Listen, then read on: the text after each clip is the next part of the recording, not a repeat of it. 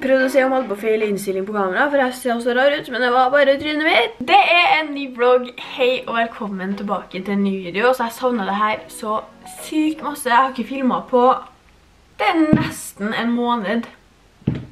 Altså, det har skjedd så mye siden sist, og åh, unnskyld. Ah, sorry, jeg sto opp seriøst for fem minutter siden. Jeg har sikkert øyebørs og sånn, whatever. Det er helt vilt lenge siden jeg vlogget. Jeg føler bare evigheter siden vi har pratet, og jeg har bare lyst til å prate med dere, og dere vet jo jeg elsker å vlogge, så jeg gleder meg supermasse til å ta med på dagen. Jeg er ganske stolt over at planta ikke har dødd ennå, altså helt ærlig. Den begynner til og med å få et nytt blad. Ok, den er ikke så fin da, men sånn. Den er i hvert fall ikke død. Men ja, altså siden sist så har jeg hatt to eksamener. Jeg hadde kjemieksamen torsdag forrige uke, og der jeg spilte på onsdag, så altså i går, tirsdag, så hadde jeg matteeksamen. Så dere som lurer, så har jeg hatt kjemi 2, og jeg har hatt en T-matte. Nå kommer det en stykke. Der, ja. Hello! Så ja, det har jo tatt typ alt av tida min siste, men nå er jeg heldigvis ferdig med to av tre. Jeg har igjen en kjemi-muntlig eksamen som jeg skal ha 3. desember. I dag er første dagen på lag. Oi. I dag er første gang på lenge. Jeg føler på en sånn litt ro i kroppen at jeg ikke har så alt for masse å gjøre. Den siste måneden har bare vært preget av sykt masse stress. Og ja, meg som ikke føler at jeg når helt fram, holdt på å si at jeg ikke er god i nå. Så i dag så sov jeg helt til klokka halv ti. Det var sykt deilig. Og det kan hende at visse folk lå opp til klokka to i natt og så på Love Island. Jeg nevner ikke navn, men um, ja. så det er faktisk sykt godt å sove ut. Nei, jeg er veldig gira på å vlogge og fortelle dere hva som skjer. Og ja, nei, bare ta dere med på den dagen. Hei. Jeg har skjedd på håret. I går var første gang jeg vasket håret på typ sånn en uke. altså det jeg bruker å si, når jeg ikke har ordnet neglene, da vet du at jeg ikke er på plass, for at jeg har nesten alltid finnet negler. Det er veldig viktig for min velværefølelse, men nå... Så kanskje jeg skal gjøre det i dag. Ja, vi får se. Klokka er i hvert fall litt over ti nå. Hva er det der? Åh, buksa skulle opp meg. Men Lili, slutt å være gravarbeider. Jeg skal i hvert fall ta på meg bukse, og så skal jeg gå opp og spise. Oh. Så ja, jeg føler bare det har skjedd så masse i siste, og jeg har veldig lyst til å oppdatere dere, og nei, bare ta dere med på dagen. Tusen takk for at dere ser på denne videoen her. Det betyr så masse om dere liker, kommenterer og abonnerer. Det gjør seriøst dagen min. Så ja, det var egentlig det. Nå skal jeg stikke opp og spise frokost. The best meal of the day, you know. Og Lily er så... Se på det der. Jeg prøver å ha en fin plante, og så skal du drive og grave. Lily! Like, what the fuck? Du... Ja. Mm. Så, dagens frokost blir en veldig klassisk med-frokost. Avocado, bread skiv that is going to become a toast.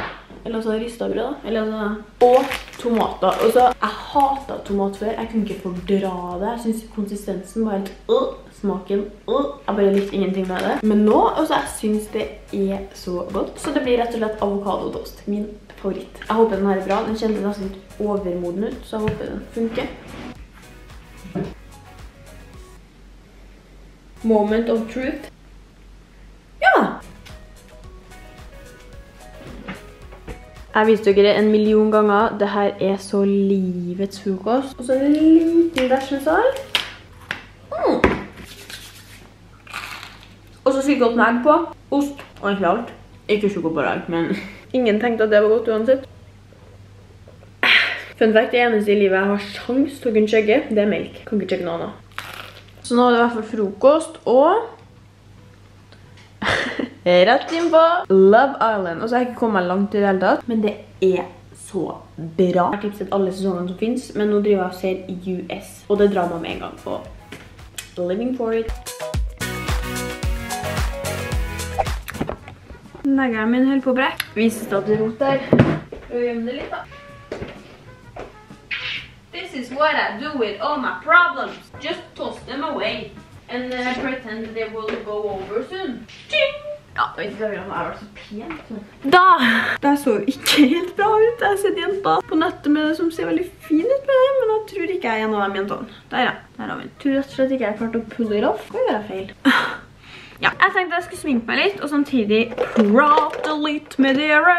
Takk for det. Den foundationen her er alt for mørk, men jeg står for det. Jeg har ikke sminket meg ordentlig på dritlang tid, så jeg gleder meg. Jeg husker ikke hvordan jeg ser ut en gang med sminke. Men jo, som sagt, det har skjedd en del siden sist. Eller har det egentlig det? Nei, det er jo korona. Det skjer jo ingenting. Jeg har jo, som jeg snakket om før i dag, hatt eksamen, og egentlig har mye av tida mi gått til det. Det gikk egentlig helt greit, tror jeg. For å si det sånn, jeg får ikke seks på noen av dem. men Jeg håper jeg kan få fem. Men plutselig får jeg fire også, du vet. Men det er i hvert fall godt å bare få det av brystet, så er en mindre ting å tenke på. Ellers så er det jo Black Week neste uke, og da har jeg mange gode rabattkoder som kommer ut. Det kommer mest på Instagram, tror jeg, så husk å følge meg der altså Black Week, det er en så god mulighet til å kjøpe ting hvis man faktisk trenger det. Hvis du har tenkt på en ting lenge, eller ser noe du tror er fint, eller kanskje skal handle julegaver, så vil jeg anbefale dere å vente til Black Week og kjøpe noen ting på tilbud. Så follow me on Instagram, der heter Lena Redmo. Eh, samtidig så vil jeg beklage litt faktisk, eh, innskyld unnskyld for at det har blitt en del samarbeid det siste, og kanskje litt lite vanlig innhold. Altså, jeg synes det er litt rart å beklage for det også, for dere må huske at dette er jobben min, eh, og for å få ting til å gå rundt så må jeg jo tjene penger på det jeg gjør. Jeg liker godt å kombinere annonser med mye hverdagslig innhold, og det har kanskje ikke blitt så masse hverdagslig innhold som det jeg liker å lage det siste, fordi livet mitt har vært såpass likt, på grunn av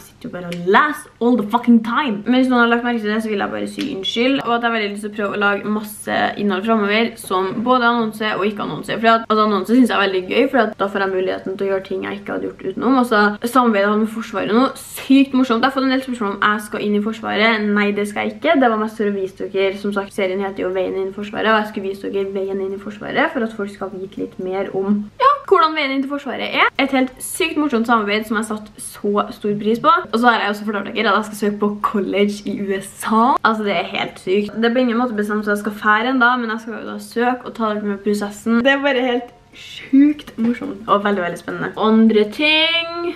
Ja, den siste ukene så har jeg bare slettet litt med å balansere jobb og liv. Og så dere må huske at jobben min er livet mitt på en måte. Så jeg vet ikke helt hva jeg prøver å si, men... Um, hvor faen er kosten min, er det jeg prøver å si? Hvor har jeg gjort av den da?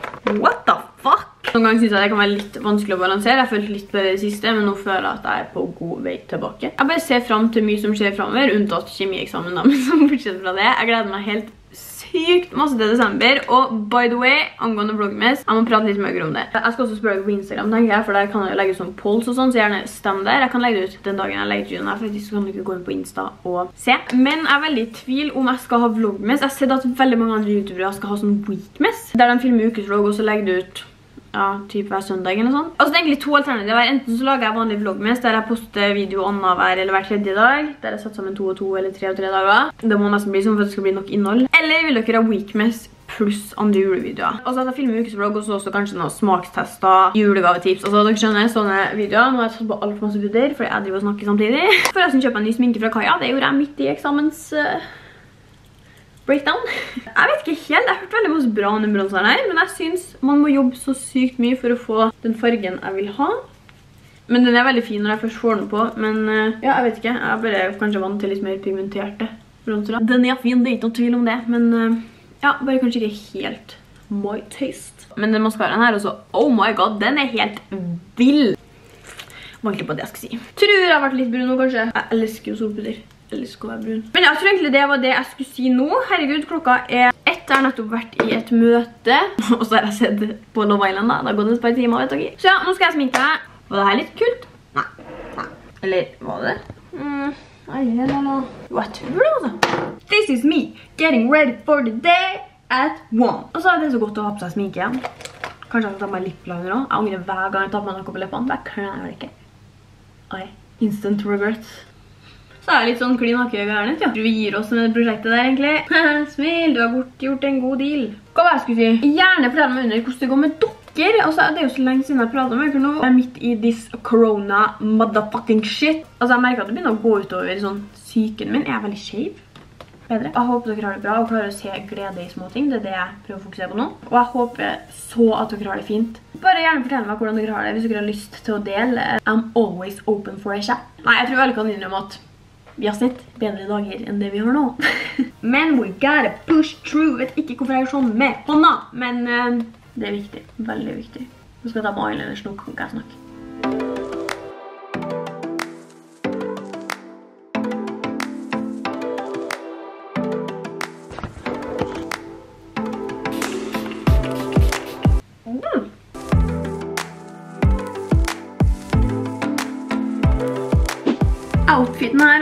Den er bra. Jeg har fått meg en morgenkåpe. Jeg har nettopp spilt inn to stories, så nå må jeg redigere dem og sende dem inn til godkjenning. Jeg lager en story med X-Lash i forbindelse med Black Week, og det funker dritbra. Så hvis du vil få rabattkode på det, så sjekk ut Instagrammen min. Nå tror jeg det her blir annonse. Det er så rare regler, men ja, annonse. Jeg har som sagt spilt inn to stories, og så skal jeg nå redigere dem. Kristine kommer ut faktisk snart, for at hun presterte å ødelegge PC-en sin i dag. Jeg synes dritsyn på henne, men hun må låne PC-en min til å redigere en story som hun skal legge ut. I'm just glad I can help. Outfit goals right her, av meg bukse, morgenkåpe og sportstopp. Men ja, kjøret går, sier jeg bare, så jeg skal prøve å redigere min story ferdig før Kristine kommer, sånn at jeg blir ferdig med det, sånn at hun kan få Mac-en min. Awesome. Da har jeg kommet meg på trening. Offentlig doblogging har liksom blitt min greie det. Dagens plan er å trene bein. I Trondheim så er treningssentrene fortsatt åpen. Jeg spurte ikke på Instagram om der dere bodde, om det var åpent eller stengt. Og da var det 70% som sa at det var stengt, og 30% som sa at det var åpent. Så jeg tipper flesteparten av dere som ser på nå, bor på steder der det er stengt. I Trondheim så er ikke koronasituasjonen så ille. Det er selvfølgelig smitte her også, men det er ikke så ille som det er i Oslo og Bergen, da, så derfor det fortsatt er åpent og kanskje ikke like strengt her som det er andre plasser. Jeg vet ikke. Treningssentrene er i hvert fall åpen, og jeg skal trene bein. Kicking it. Er jeg motivert i dag? Nei. Gjør jeg det lell? Ja. Så jeg gleder meg veldig til ferdig. Dere vet. Those endorphins. Vet ikke om det heter det på engelsk gang, men endorfiner i hvert fall. Dere vet, jeg elsker det. Ha på meg rød, rød og svart. og jeg er klar til å kick some ass. Eller er egentlig det? Jeg vet ikke. Jeg prøver å late som. Men jeg er sliten. Og har også maskara under øyet, ser jeg. Nå håper jeg ikke står noen utenfor og hører på at jeg blogger. Det har vært veldig flaut. Men uh, ja. jeg skal i hvert fall stikke og trene nå. Kristine kom innom, sa jeg det. Jeg husker jeg Litt tullete i hodet. Men uh, hun kom i hvert fall innom og fikk gjort det hun skulle. Så nå trening.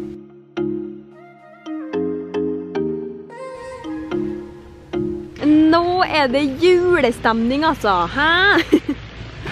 Så trivelig! Det snør. Wow. Take a look at the fire hotel. Jeg gidder i hvert fall ikke gå ut om kvelden, så... Yeah! It's beginning to look. Nei. Nei, da var det sannelig blitt jul, altså. Trivelig. Da pærer jeg. Snow's falling down. I've been longing for this Christmas. When everyone's Altså Det snør skikkelig, liksom. Jeg husker Sist jeg vlogga, så var jeg så sur på at det snødde, men nå er det jo faktisk november, så nå syns jeg snøen kan komme. Sykt koselig! Hello! Da har jeg kommet hjem og gjort den første feilen og stagnere i sofaen. Nå kommer jeg aldri til å reise meg. Men eh, vet dere hva jeg så? Jeg så et rådyr. Nå i dag? Ja, i Bjørndalen. Ja. Ja. Kult, det. Ja. Jeg vet. Mm, så det var jo dagens høydepunkt for meg. Det skjer ganske lite for det. Hva, nei, pappa sine føtter, sensor. Hva har vært ditt høydepunkt i dag, mamma? Det var å sende inn søknaden på Oi, 41. oi, oi, oi, oi. 40 millioner. Nå på høydepunktet mitt i dag. Der var nesten pappa sitt høydepunkt i dag. Hva har vært ditt høydepunkt i dag? Hvor lov til å sitte her sammen med deg og mamma. Pappa, du er så klein. Klein, ja, det var litt sant. Cheesy sak. Neida, hyggelig. Veldig hyggelig. Så har vi egentlig dusj, men... Um, Skal jeg lage smoothie? Ja, vi ser også på landskamp med Norge sitt Nødlandslag. reservelag, nødlandslag. Ikke så god, men prøver hardt. Så det er bra. Ok, så jeg kom meg omsider ned igjen. Herregud, den dagen her så har jeg egentlig vært veldig kjedelig å være med på, men jeg følte bare jeg måtte oppdatere dere på alle aspekter i livet. Jeg er litt spent nå, for jeg vet ikke om dere vet det her, men jeg går typ aldri på do. Jeg er skikkelig prokastinerende når jeg kommer til å gå på do. Jeg hater å gå på do. Det høres veldig rart ut når jeg sier det høyt her nå, merker jeg, men eh, det er en seriøs greie, liksom. Jeg prøver å gå på do så litt som mulig, for jeg synes det er så sjukt kjedelig. Jeg vet at jeg er litt sånn koko, men ja. Poenget med det jeg sier nå er at eh, jeg har mensen for tida. Jeg ble egentlig ganske glad når jeg fikk det, for jeg var sykt ustabil og hadde mental breakdown, og så gikk jeg på do, så fikk jeg mensen, så var det sånn, eh, lol, da gir det mening. Men uansett, jeg tok i et truseinnlegg sist gang jeg var på do, det var kanskje, jeg vet ikke, ti timer siden, og nå har jeg vært trent med det truseinnlegget, og svetta sikkert da. Kanskje jeg er litt sånn too much information nå, men altså, bare dele på. Poenget er hvis jeg ikke har fått sopp nå, så vet jeg hva som gir meg sopp. Altså, jeg har faktisk aldri hatt sopp. Det er ganske sykt, så det er kanskje på tide. Hvorfor forteller jeg det her nå? Jeg aner ikke. Jeg skal få ta meg en dusj, eh, og så skal mamma lage smoothie. Og så blir det bra da. Oi! Jeg har nesten blødd gjennom. For å si det sånn. Ikke noe nytt der. Jeg blør gjennom seriøst hele tida. Det er liksom min fritidsaktivitet, det å blø gjennom. Det er liksom, that's what I do. Men ja, jeg skal få opp i dusjen nå, og så snakkes vi sikkert etterpå for mer spennende updates fra min bra hverdag. Not.